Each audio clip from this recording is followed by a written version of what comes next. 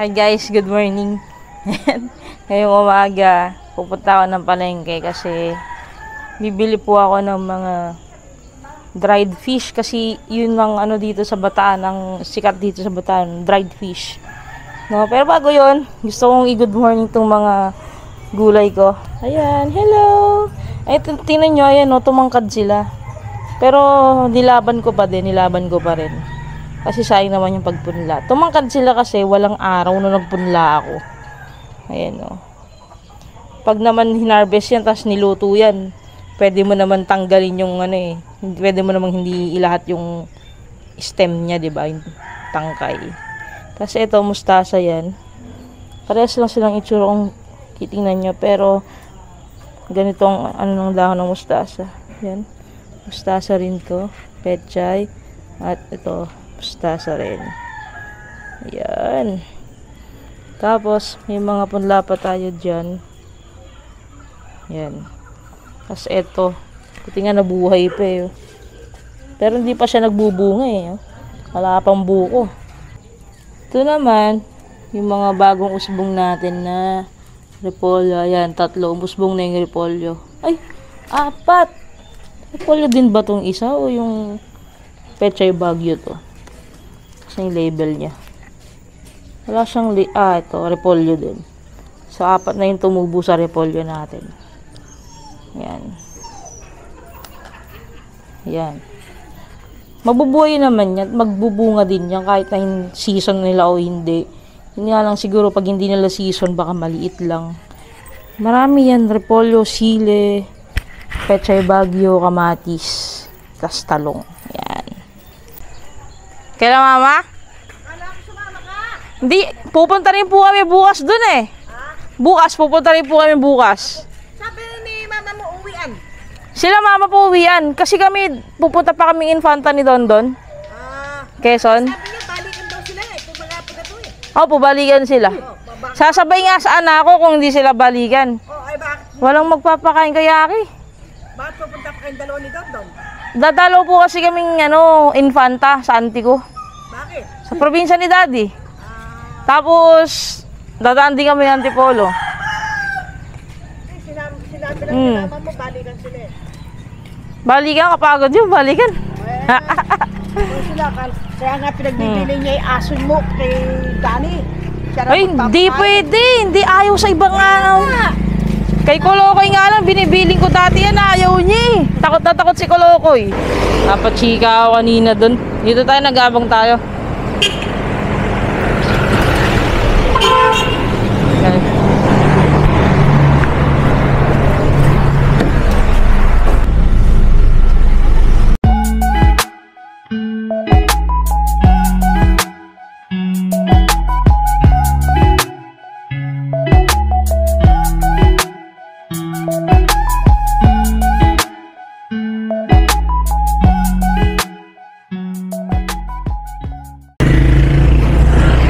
Vitamins pa naman yung araw. Yan. Sana nandun pa kasi mag-alas 7 na hanggang alas 7 lang yung pagkakaalam ko. Yan.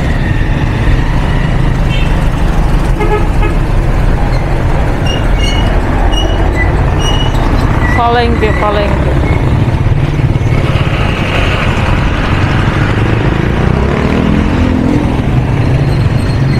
Naiya ako, medyo. Pangit na iya ako.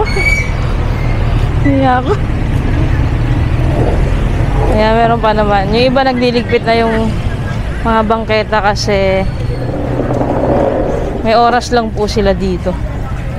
Pwede ba tumaan sa highway? Oo. Sana nandun pa yung bibila natin.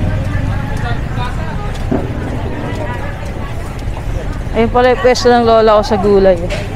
Kuha na natin. Ayun no, naka-yellow siya. Kasi ito naman tito ko sa mga hotdog. Ayan. Tapos yung isang tito ko doon, malapit sa bibila natin ng ano, dried fish.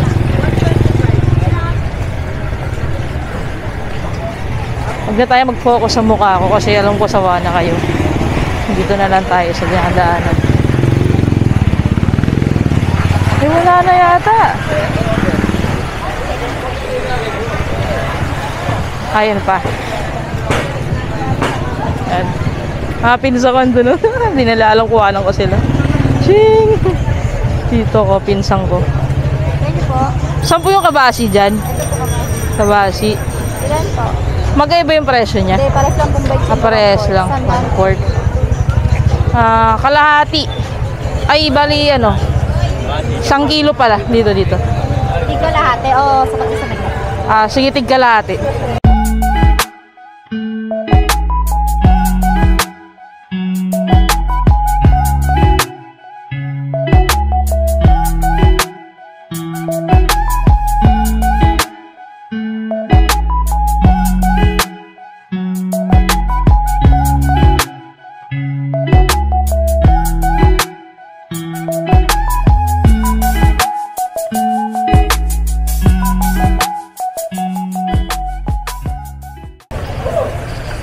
Tapos po ano, sa tuyo po magkano? Kampon yun. 75 po ang board. One, one fourth, 75. Ah, tig one fourth po. Magkaiwalay.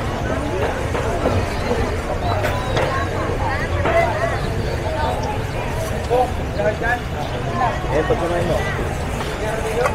Sa po gawa yung. Balanga balanga. Gawang balanga. Wala bang alugasin? Wala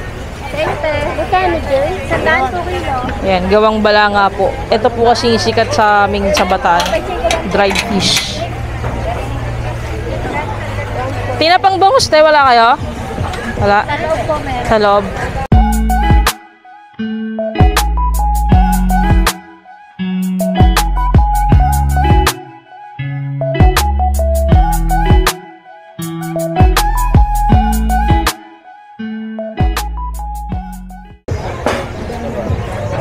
Bayad pala. Ilan po ba ninyo? Magkano po lahat? Bali 250. Pwede ko lang. Para sa. Ito po. Thank you, te. Ah. Kabili na tayo. Yung ano naman, ah, tinapang bangus.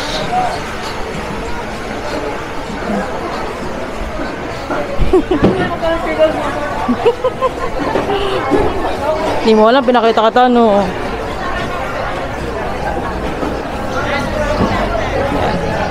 Para makita niyo yung palengke namin, di naman puro ako.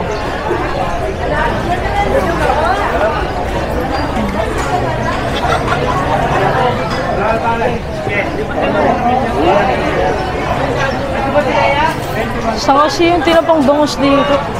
Sa may pwesto ng ano yun eh. Sam!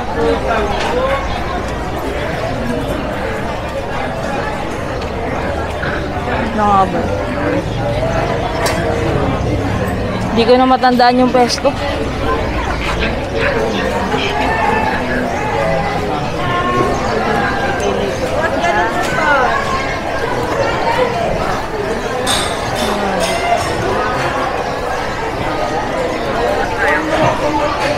Ay, sarado siya. Alam mo dito meron bande.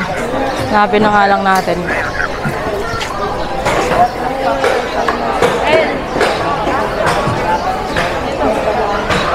Wala yung tinapang bangus.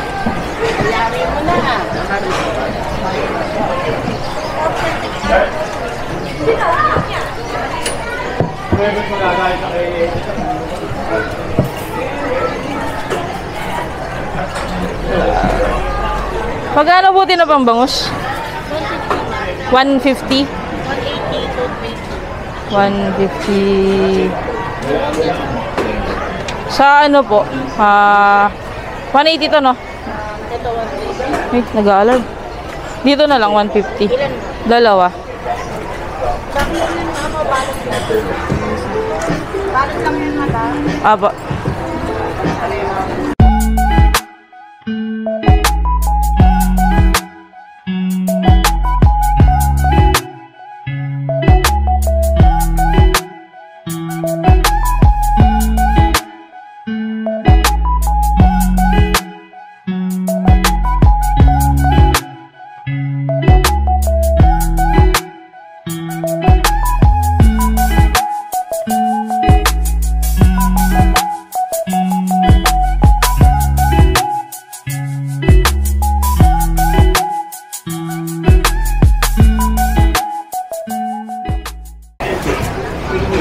Thank you po.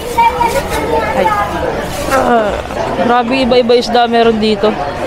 No?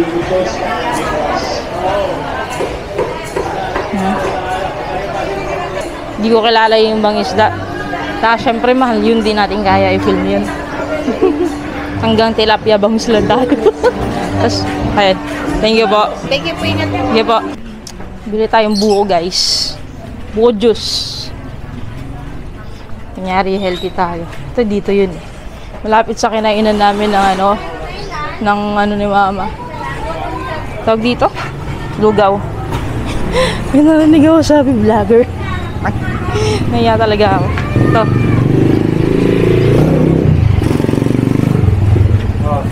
Magano isang ano ko tayo, buko?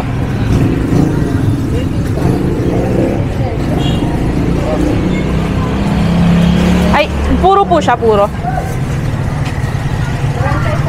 30. Dalawa na po. Papakayod mo ba?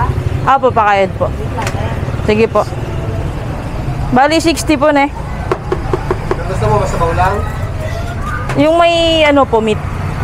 Pwede po yung ano, yung, pwede, yung pang, ano, UTI ba yun? Sinabing pang yun, ayaw po masabaw lang po yun. Ah, sabaw lang. Ah, sige, sige. Yung, ano, ano ba tawag doon? Ah, yun. Malasipon. Eto po. Malinis ang pwesto nila dito. Ano niya? Diba? Sige po. Eh, Chapulo. Ano pa? Ano pa? Chapulo. Chapulo. Mas pala yun. Nice mas pala yun.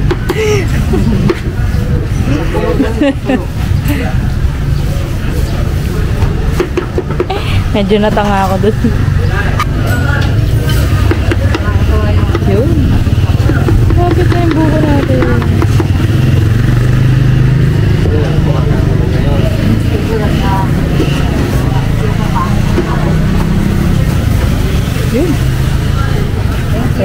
Thank you po. Ito na yung buko guys. Nakabili din ng buko. Hindi pinaalala nung isa sa akin, hindi ko maalala. Kaya nga pinaalala. Lagi ko kasing gustong bumili ng buko. Kaya lang pag nandito ako, nakakalimutan ko na since malayo siya, nandito siya sa may labas. Kaya ayun. Ayun. Uwi na tayo. Ah, yun. Jeep na tayo, pauwi na. Kasuyo po. Hindi rin ako. Parang delikulan ako. Na. Magsaysay po. Nakababa na ako mga kabsat ng jeep. Kaya kasi ako mag-video doon. May papakita ko sa inyo. Ito yung ilog dito. Kasi tulay ito eh. Ayan. oh. Tulay siya. Mga kangkong yan. Dati nung elementary ako, malabo yan kasi po ano, umulan. At saka malabo na talaga. Pero dati naabutan ko malinis to. Yan. Tapos, hanggang dulo yan, hanggang dun sa pinakadulo. Paikot yan ng kabilang barangay pa. Naglalaro kami dun ng mga klase ko nung elementary. Wala. Kwento ko lang. Hotdog! Saan siya nasira? Kaya darang ko lang tong sanse na to, guys. Wow, guys. Lakas ng hatak mo, mama Tess. Guys, talaga. Ayan. Gusto ko sunog. Luto na ang ating sunog na hotdog. Ayan, sarap na ito, oh. Hindi na ako nag-mic. Ayan. Lagay natin siya dyan. Hotdog. Then, sasangag na tayo ng rice. Vemeng. Lagyan natin ng vemeng. Igisa igisa ang vemeng gamit ang sinang shense. Tapos lagyan na natin yung kanin. Galing sa kaldero. Ako lang kasi ngayon. Kaya ayan, malaya akong mag-hotdog.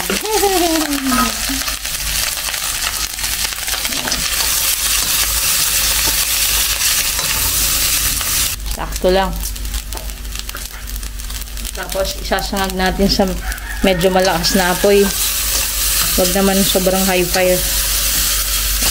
Medyo matagal para masarap. Ito na yung ating silog. Hot silog. Sinangag itlog. Di na ako nagprito ng itlog kasi meron nga pala kaming nilagang itlog dyan. Lagyan natin siya ng chili garlic oil. Yun no. Made from fresh ingredients. Sariwang sariwa. Walang mga bulok-bulok. Yan. Dagdagan natin. Yung itlog kasi gusto ko yung nilalagyan eh. Buko juice. Ay, yung laman, hindi makuha. Yan. Yung mga laman niya nandito pa sa pitchel. Mamaya ako nakakainin yun. Juice muna. Pagkain. You know. May ketchup nga din pala tayo dito. Ito. Pag ginusto natin. Inom muna tayo ng buo juice.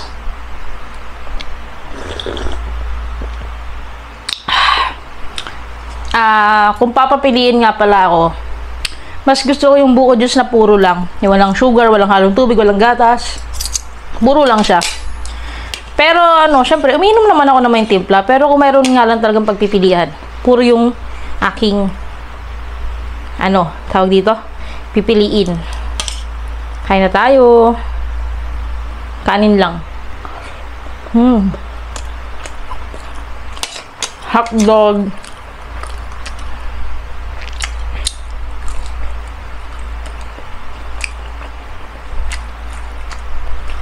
Pag sa palengke, tender juicy talaga binibili ko. Pero pag dito sa ano, sa matindahan, Frabel, wala mo kasi tender juicy dito kasi nga mahal.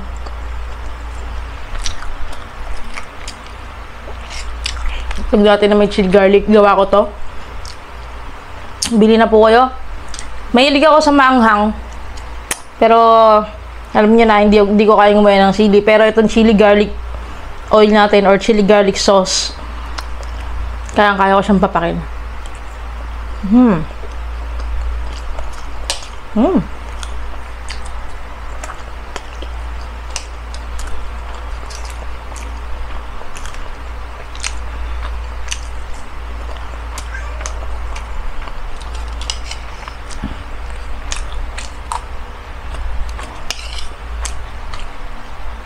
Hmm. Sarap.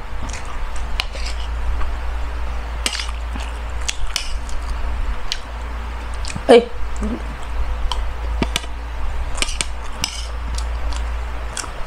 Nakakagana kasi siya.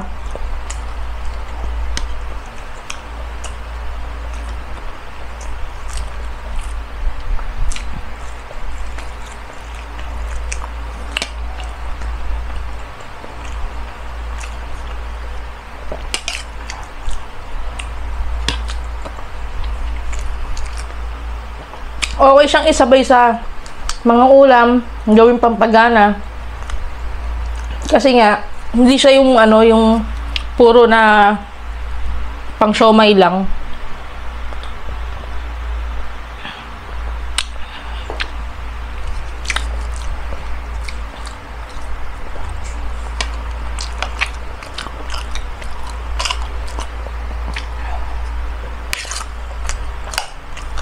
Yung ginamit ko po mantika dito is vegetable oil, hindi siya cooking oil, hindi palm oil.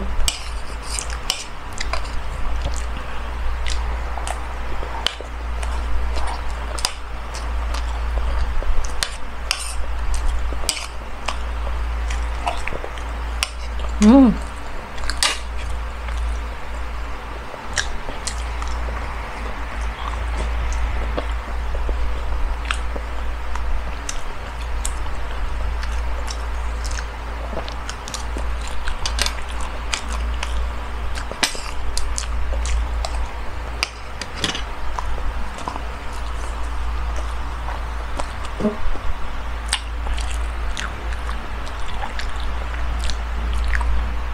Sarap. Dito yung mga laman niya, oh. Hindi ko ubusin lahat kasi si Mama Tess, uwian lang yan ng Antipolo. Mamayang gabi, uwi na rin sila para makainom din siya.